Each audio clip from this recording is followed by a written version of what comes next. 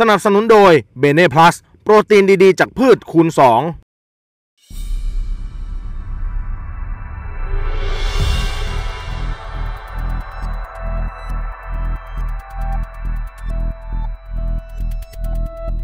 ความเคลื่อนไหวของพรรคก้าวไกลหลังจากสารรัฐธรรมนูญได้มีคำวินิจฉัย ให้การใช้นโยบายแก้ไขประมวลกฎหมายอาญามาตรา 112 ในการหาเสียงของพรรคก้าวไกล เป็นการเข้าข่ายล้มล้างการปกครอง และถูกสั่งให้ยุติการกระทำดังกล่าว ต่อมาในเรืองไกลลีกิจวัฒนะสมาชิกพรรคพลังประชารัฐ และนายธริยุทธ์สวรรณเกษรได้ยื่นคำร้องต่อคณะกรรมการการเลือกตั้งหรือกกต เพื่อขอให้พิจารณายุบพักและตัดสิทธิกรรมการบริหารพักเก้าไกลนั้น ล่าสุดเว็บไซต์ของพรรคก้าไกล ที่มีข้อมูลเลือกตั้ง 66 ของพรรคก้าไกล 3 ส่วน ได้แก่ข้อมูลสสเขต ทุกคนทั่วประเทศ ข้อมูลสสบัญชีรายชื่อ และข้อมูลนโยบายพักกว่า 300 นโยบาย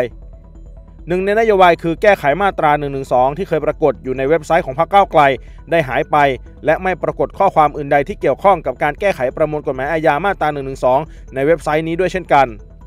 ซึ่งคาดว่าเป็นผลมาจากคำวินิจฉัยของสารรัฐธรรมนูญ ที่ระบุว่าพักผู้ถูกร้องที่ 2นำเสนอนโยบายดังกล่าว ให้แก่คณะกรรมการการเลือกตั้ง เพื่อใช้เป็นนโยบายในการรณรงค์หาเสียงเลือกตั้ง สมาชิกสภาผู้แทนราษฎรเป็นการทั่วไป 2566 และปัจจุบันยังปรากฏเป็นนโยบายการแก้ไขเพิ่มเติม ประมวลกฎหมายอาญามาตรา 112 อยู่บนเว็บไซต์ของพรรคของผู้ถูกร้องที่ 2การที่ผู้ถูกร้องทั้งสองใช้การเสนอแก้ไขเพิ่มเติมประมวลกฎหมายอาญามาตรา 112 เป็นนโยบายของพรรคผู้ถูกร้องที่ 2 ในการหาเสียงเลือกตั้ง แม้ไม่มีร่างที่จะแก้ไขเพิ่มเติมประมวลกฎหมายอาญามาตรา 112 ให้เห็น ว่าจะแก้ไขในประเด็นใดเสนอมา พร้อมกับนโยบายพรรคผู้ถูกร้องที่ 2 แต่ตามเว็บไซต์ของผู้ถูกร้องที่ 2 กล่าวถึงการแก้ไขเพิ่มเติมประมวลกฎหมายอาญามาตรา112กลับมีเนื้อหาที่แก้ไขเพิ่มเติมประมวลกฎหมายอาญามาตรา112ทำนองเดียวกับร่างพระราชบัญญัติแก้ไขเพิ่มเติมประมวลกฎหมายอาญาเพื่อแก้ไขเกี่ยวกับความผิดหมิ่นประมาท เมื่อวันที่ 25 มีนาคม 2564 ที่ยื่นต่อประธานสภาผู้แทนราษฎร ก่อนหน้านี้ องค์คณะตุลาการสารรัฐธรรมนูญนัดแถลงด้วยวาจาประชุมปรึกษาหารือลงมติ กรณีที่นายธีรยุทธสุวรรณเกษรอดีตทนายความอดีตพระพุทธอิสระ ขอให้สารรัฐธรรมนูญพิจารณาวินิจฉัยตามรัฐธรรมนูญมาตรา 49 ว่าการกระทำของนายพิธาลิมเจริญรัตหัวหน้าพักเก้าไกลขณะนั้น ในฐานะผู้ถูกร้องที่ 1 และพักเก้าไกลในฐานะผู้ถูกร้องที่ 2 เสนอร่างพระราชบัญญัติแก้ไขเพิ่มเติมประมวลกฎหมายอาญา เพื่อยกเลิกประมวลกฎหมายอาญามาตรา 112 โดยใช้เป็นนโยบายในการหาเสียงเลือกตั้ง และยังคงดำเนินการอย่างต่อเนื่อง เป็นการใช้สิทธิหรือเสรีภาพ เพื่อล้มล้างการปกครองระบอบประชาธิปไตย อันมีพระมหากษัตริย์ทรงเป็นประมุขตามรัฐธรรมนูญมาตรา 49 วรรคหนึ่งหรือไม่ จากนั้นเวลา 14นาฬิกา15 นาทีองค์คณะตุลาการสารรัฐธรรมนูญทั้ง 9 คนออกนั่งบัลลังก์อ่านคำวินิจฉัยทั้งนี้ก่อนเริ่มอ่านสารรัฐธรรมนูญชี้แจงว่าสารรัฐธรรมนูญรับคดีไว้พิจารณาเมื่อเดือนมิถุนายน 2566 ซึ่งทั้งสองฝ่ายทราบดีว่าการพิจารณาของสารรัฐธรรมนูญใช้ระบบไต่สวนศาลมีอำนาจค้นหาความจริง ไม่ว่าจะเป็นคุณหรือโทษแก่ฝ่ายใดฝ่ายหนึ่งได้ และการวินิจฉัยปัญหาข้อเท็จจริง ให้ศาลรับฟังพยานหลักฐานได้ทุกประการศาลได้ให้ผู้ถูกร้องชี้แจง โดยผู้ถูกร้องขอขยายระยะเวลา 2 ครั้งศาลได้ดำเนินกระบวนการพิจารณารวม 62 ครั้ง รับฟังความเห็นของนักวิชาการ พยานผู้เชี่ยวชาญที่มีความเป็นกลางทั้ง 4 ท่าน ได้แก่ผู้ช่วยศาสตราจารย์ ดรรณกรบุญมี ศาสตราจารย์กิติคุณวิทิตมันตาพร รองศาสตราจารย์ ดรภูริฟูวงเจริญ รองศาสตราจารย์ ดรสุภมิตรปิติพัฒน์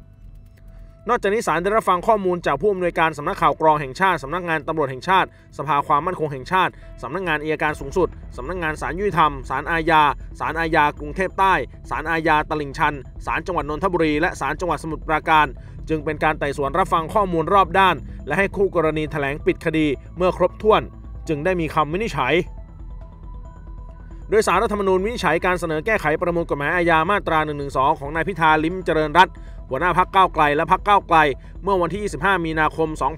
2564 และใช้การแก้ไขมาตรา 112 รณรงค์หาเสียง เป็นนโยบายพัก เป็นการกระทำที่ล้มล้างการปกครองในระบอบประชาธิปไตย ที่มีพระมหากษัตริย์ทรงเป็นประมุข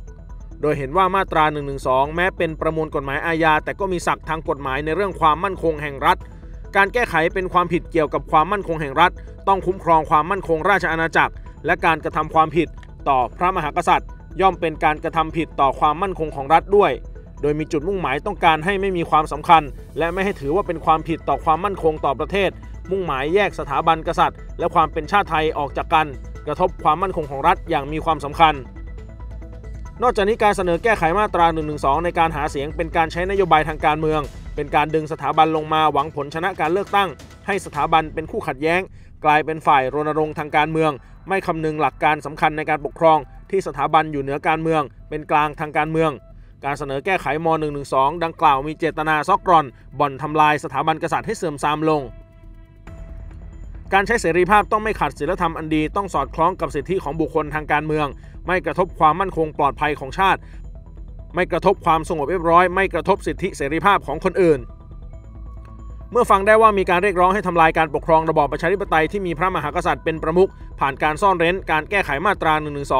มีกระบวนการหลายช่วงติดต่อกัน หากปล่อยให้กระทำการดังกล่าวต่อไป ย่อมไม่ไกลเกินเหตุ ที่จะล้มล้างการปกครองระบอบประชาธิปไตย